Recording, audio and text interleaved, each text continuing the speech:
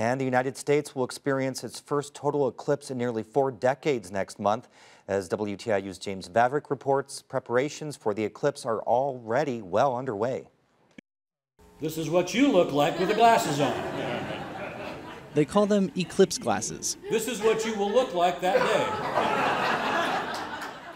There's only two manufacturers that make these. They're, they can not make 300 million of these.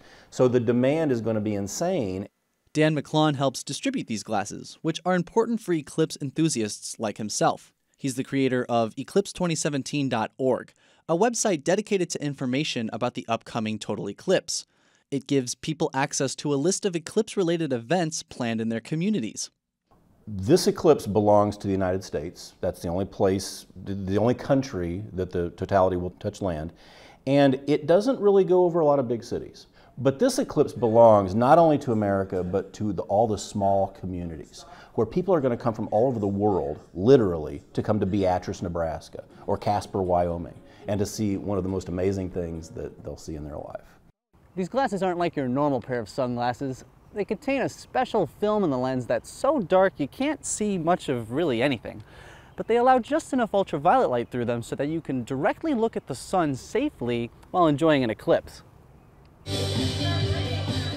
The Carmel Library will be giving 1,000 of the glasses away for free at an event leading up to the eclipse. Earlier this summer, workers from the Link Observatory hosted an event at the library and explained what people can expect in August. Now, hopefully, it's not cloudy or raining. If it is, get in your car and find someplace that's not, because this is a big deal.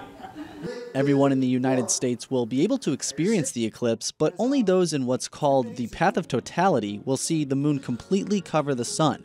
That path starts in Oregon and travels all the way to South Carolina. During totality, if you look at the sun, it looks like somebody took the most beautiful purplish, bluish, deep twilight velvet sky, just put a couple of stars here, cut an impossibly black hole, and smeared cotton candy halfway across the sky and just shimmers. While Indiana isn't in the path of totality, Hoosiers will be able to see the moon cover about 90% of the sun. For Indiana News Desk, I'm James Vavrick.